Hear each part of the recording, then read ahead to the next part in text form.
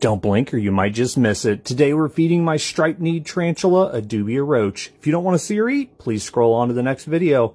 But as I drop this roach in there, notice the second it hits the ground, she is on it. It tripped her web. She knew exactly where it was. Look at that. That is impressive.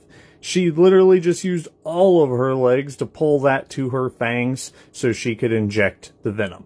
Although she probably didn't inject venom. They have very large fangs, and she probably knew that the mechanical damage of those alone was enough to take down this prey item. Their venom isn't very toxic at all, but these guys can actually kick hairs off of their abdomen, which are very irritating. That's one of their defenses. Not only that, they will run away. And when they run away, they stomp, which is just interesting. I have an old video of it. It's so freaking cool. I need to do a cage update on her, but if you want to see more or you want to see that cage update, make sure you hit that follow.